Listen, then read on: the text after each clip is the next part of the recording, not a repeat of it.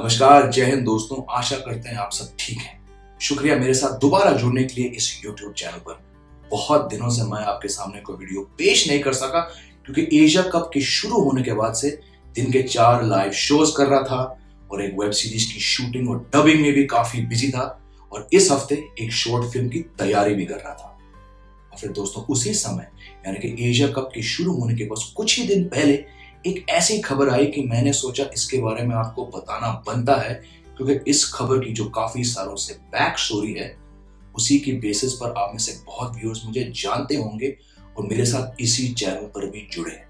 और दोस्तों, वो है फेक इट इंडिया तो आज के वीडियो से मैं आपको ये बताना चाहता हूँ दोस्तों कि जिस YouTube सैटायर शो के साथ मैं साल 2016 से जुड़ा था, जिस शो से मुझे इतना सारा प्यार रिकग्निशन और एक्टिंग की दुनिया में थोड़ी बहुत अपॉर्चुनिटी मिली, उस पर पिछले एक महीने से ब्रेक लगा दिया गया था।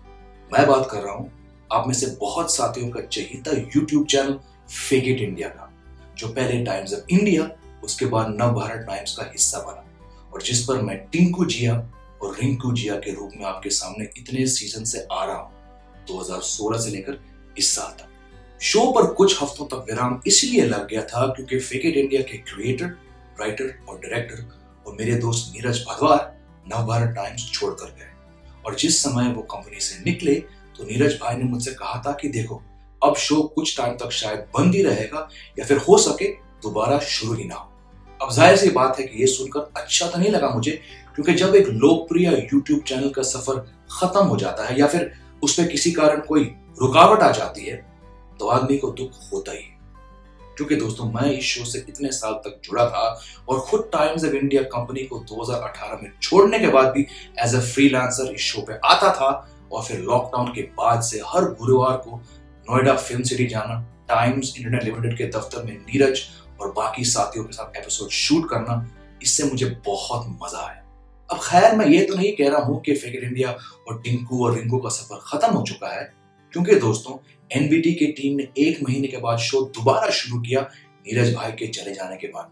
और कुछ ही दिन पहले मुझे वहाँ से कॉल आया कि, जिमी भाई प्लीज़ आप दोबारा जुड़िए हमारे साथ एज टिंकू जिया एंड रिंकू जिया और मैंने नवीन जी से कहा भी कि, सर, मैं तो तैयार हूँ, मगर क्योंकि फ़िलहाल अपने डेली क्रिकेट शोज़ में काफ़ी बिज़ी हूँ और फिर अगले तीन हफ्तों के अंदर मुझे एक फ़िल्म की शूटिंग के लिए चेन्नई जाना है और सर उसके बाद अनदेखी सीज़न थ्री की शूटिंग के लिए मनाली में जाना पड़ेगा। और सबसे बड़ी बात, उसके एक दिन बाद वर्ल्ड कप शुरू होगा और फिर वर्ल्ड कप के बीच और वर्ल्ड कप के बाद भी मैं एक नए वेब सीरीज़ के लिए तकरीबन 12 से 15 दिन तक बिज़ी रहूँगा।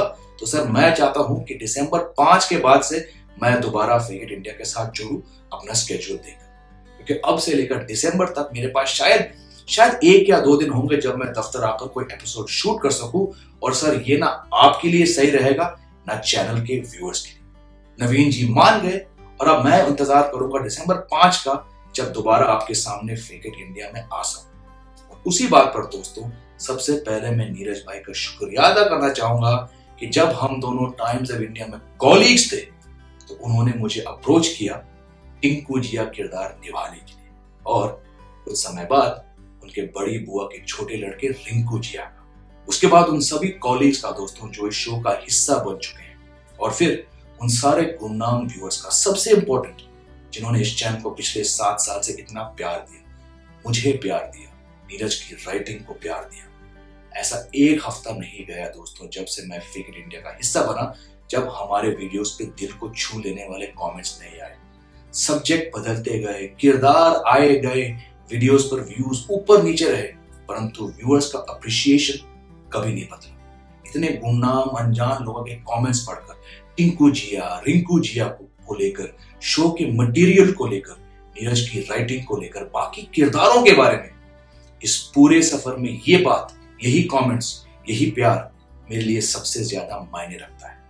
ऐसे कमेंट पढ़कर ही मुझे एहसास हुआ कि फेक इट इंडिया की टीम जो भी करती आई है इट वॉज़ वर्थ इट जितनी बार मुझे घर से बाहर लोगों ने रोकर पूछा, सर, आपका वो टिंकू जिया वाला शो ज़बरदस्त है। चाहे सोसाइटी के गार्डन में या नजदीकी मार्केट में क्रिकेट के मैदान पर मॉल्स में मेट्रोज में एयरपोर्ट्स पे, हवाई जहाज़ के अंदर कैफेज में रेस्टोरेंट्स में, किसी की शादी पे भी। बहुत बहुत अच्छा लगा मुझे और मैं आभारी हूँ नीरज का for writing these two characters Tinku and Rinku. और दोस्तों, आपको बता दूँ कि इसी शो के कुछ एपिसोड देखकर मुझे एक्टिंग की दुनिया में कुछ मौके मिले।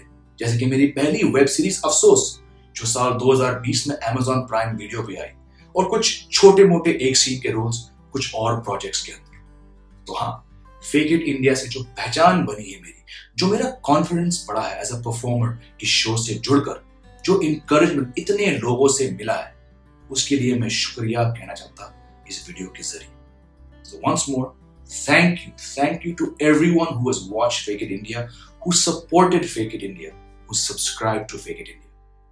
तो मेरी आपसे ये दरखास्त है कि आप चैनल से जुड़े रहिए। फेक इट इंडिया से जुड़े रहिए, क्योंकि नवीन जी और टीम हर हफ़्ते आपके सामने एक एपिसोड पेश करने की कोशिश करेंगे। तो चलिए दोस्तों, मिलते हैं आपसे बहुत जल्द। ख्याल रखें। जय